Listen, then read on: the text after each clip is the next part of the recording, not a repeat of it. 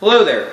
Here at Antiques to Present, we have this very nice 1920s to 1940s cottage style enamel top, porcelain top uh, table.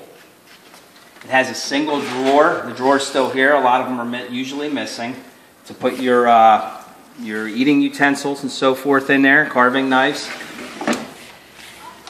It has a draw leaf table. Draw leaf very easy to do, one person. You just slide the latch over underneath here, push your top over, pull out on your draw leaf.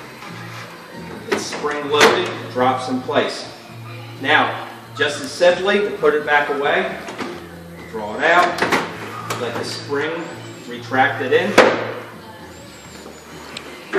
Slide your tap over, snaps in place, you're back to a single table.